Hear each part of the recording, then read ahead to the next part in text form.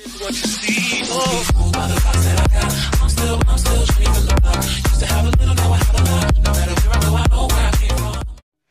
friends mobile tech YouTube ചാനലിന്റെ മറ്റൊരു വീഡിയോയിലേക്ക് ഏവർക്കും സ്വാഗതം.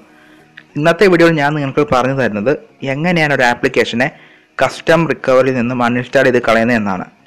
അപ്പോൾ നിങ്ങൾ പലരും ചിന്തിക്കും എന്തിനാണ് കസ്റ്റം റിക്കവറിയിൽ കയറിയിട്ട് അൺഇൻസ്റ്റാൾ ചെയ്യുന്നതെന്ന് ചിന്തിക്കും. ഫോണിലൂടെ അല്ലാതെ അൺഇൻസ്റ്റാൾ ചെയ്യാമല്ലോ എന്ന് നിങ്ങൾ ആലോചിക്കും. അപ്പോൾ അത് മിക്കവാറും കസ്റ്റം റോം യൂസ് ചെയ്യുന്നവർക്കായിരിക്കും ഒരു പ്രശ്നം വരുന്നത്. അതായത് നമ്മളൊരു ആപ്ലിക്കേഷൻ ഇൻസ്റ്റാൾ ചെയ്യുമ്പം ചിലപ്പോൾ നമുക്ക് നമ്മുടെ ഫോൺ ഉപയോഗിക്കാൻ പറ്റാത്ത രീതിയിൽ ഇപ്പം ഉള്ള ആപ്ലിക്കേഷൻ മുഴുവൻ ക്ലോസ് ആയി പോകും. അവസാനം ഈ ഇൻസ്റ്റാൾ ചെയ്ത ആപ്ലിക്കേഷൻ നമുക്ക് അൺഇൻസ്റ്റാൾ ചെയ്ത് കളയാൻ പറ്റാത്തൊരവസ്ഥയിലേക്ക് വരും.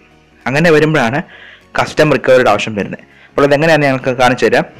അപ്പോൾ അതിന് മുമ്പായിട്ട് നിങ്ങൾ ഇതുവരെ എന്റെ ചാനൽ സബ്സ്ക്രൈബ് ചെയ്തിട്ടില്ലെങ്കിൽ ഈ വീഡിയോക്ക് താഴെ കാണുന്ന ചുവന്ന സബ്സ്ക്രൈബ് ബട്ടൺ അമർത്തി എന്റെ ചാനൽ സബ്സ്ക്രൈബ് ചെയ്യുക. തുടർന്ന് ബെൽ ഐക്കൺ അമർത്തുക. അപ്പോൾ ഞാൻ എന്റെ ഫോണിൽ ലോഞ്ചർ ഇൻസ്റ്റാൾ ചെയ്തപ്പോഴാണ് എനിക്ക് ഇങ്ങനെ പ്രശ്നം വന്നത്. എനിക്ക് ഹോം സ്ക്രീനിൽ പോകാൻ പറ്റുന്നില്ല ആ ലോഞ്ചർ അൺഇൻസ്റ്റാൾ ചെയ്യാൻ പറ്റുന്നില്ല അങ്ങനെ കുറേ പ്രശ്നങ്ങൾ വന്നു. അപ്പോൾ ഞാൻ ആ ലോഞ്ചർ ഇൻസ്റ്റാൾ ചെയ്യാണ് ഇവിടെ. ഇപ്പോൾ എന്റെ ലോഞ്ചർ ഇൻസ്റ്റാൾ ആയിട്ടുണ്ട്. ഇനിയിപ്പോൾ ഞാൻ ഓപ്പൺ ചെയ്യാൻ പോകുമ്പോഴാണ് പ്രശ്നം വരുന്നത്. അപ്പോൾ തന്നെ എന്റെ ഫോണിന്റെ ഡിഫോൾട്ട് ലോഞ്ചർ സ്റ്റോപ്പായി. അപ്പോൾ ഞാനവിടെ ഓക്കെ കൊടുക്കുകയാണ്. ഇപ്പോൾ എന്റെ ഗൂഗിൾ പ്ലേ സർവീസ് സ്റ്റോപ്പായി പോയി. ഇങ്ങനെ ഇനി സ്റ്റോപ്പ് ആയെന്ന് ഇങ്ങനെ ഓരോ മെസ്സേജ് വന്നുകൊണ്ടിരിക്കും. അപ്പോൾ ഞാൻ ഓപ്പൺ ചെയ്തപ്പം ഒന്ന് സ്റ്റക്കായ പോലെയാണ് ഫോൺ ഇരിക്കുന്നത്. ലോഞ്ചർ ഇൻസ്റ്റാൾ ചെയ്തപ്പം എന്റെ ഫോണിന് അത് സപ്പോർട്ട് ആവാഞ്ഞുകൊണ്ട് എന്റെ ഫോൺ റീബൂട്ട് ചെയ്യുകയാണ് ഇപ്പോൾ ഓണായി വരുമ്പം ശരിയാവാൻ നമുക്ക് നോക്കാം.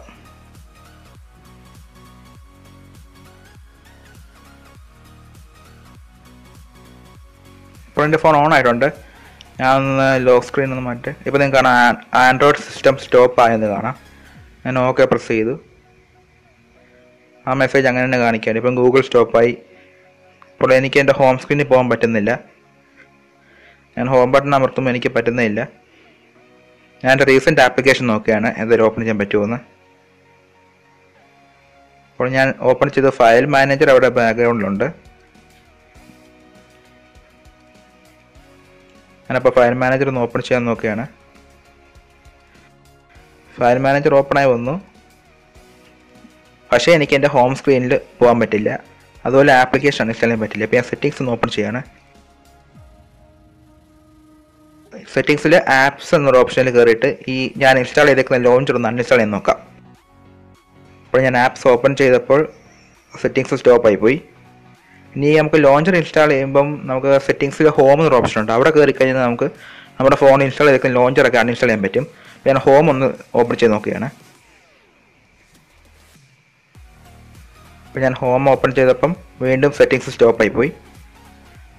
അപ്പോൾ എനിക്ക് ആപ്ലിക്കേഷൻ അൺഇൻസ്റ്റാൾ ചെയ്യാൻ ഒരു വഴിയില്ല. മിക്കവാറും എല്ലാവരും ചെയ്യുന്നത് ഉടനെ ഫോൺ ഫാക്ടറി റീസെറ്റ് ചെയ്യാനാണ് പതിവ്. സെറ്റിങ്സ് കയറി ഫാക്ടറി റീസെറ്റ് ചെയ്യാൻ പറ്റും. അപ്പോൾ നമ്മുടെ ഫോൺ ഡേറ്റ എല്ലാം നഷ്ടപ്പെടും. അപ്പോൾ എങ്ങനെ ഡേറ്റ ഒന്നും നഷ്ടപ്പെടാതെ തന്നെ നമുക്ക് ഫോണിൽ ഈ ഒരു പ്രശ്നം പരിഹരിക്കാമെന്നാണ് നമുക്കിപ്പോൾ നോക്കാം.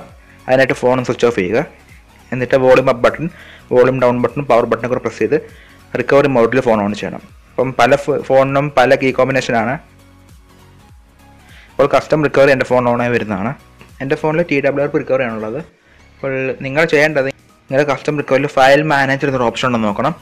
അപ്പോൾ ടി ഡബ്ല്യു ആർ റിക്കവറി ആണെങ്കിൽ അഡ്വാൻസ്ഡ് എടുക്കുക. എന്നിട്ട് അവിടുന്ന് ഫയൽ മാനേജർ ഓപ്ഷൻ വരിക. എന്നിട്ട് ഡേറ്റ എന്നൊരു ഫോൾഡർ ഓപ്പൺ ചെയ്യണം. ഇനി അടുത്തതായിട്ട് ഇവിടെ ആപ്പ് എന്നൊരു ഫോൾഡർ ഉണ്ട്. അത് ഓപ്പൺ ചെയ്യണം. ഇവിടെയാണ് നമ്മൾ ഇൻസ്റ്റാൾ ചെയ്യുന്ന തേർഡ് പാർട്ടി ആപ്ലിക്കേഷൻസ് എല്ലാം ഒന്ന് സേവ് ആവുന്നത്.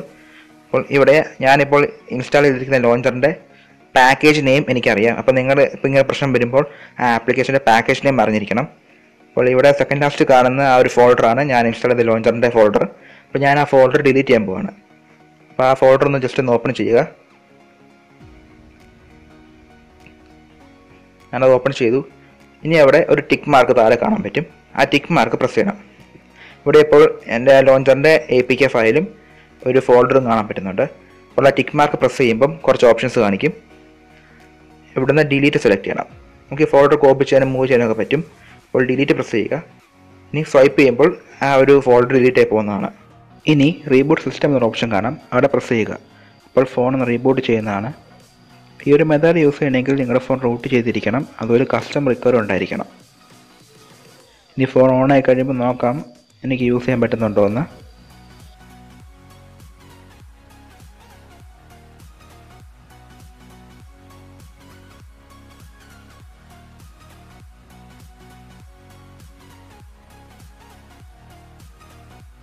ഇപ്പോൾ എന്റെ ഫോൺ ഓൺ ആയിട്ടുണ്ട്.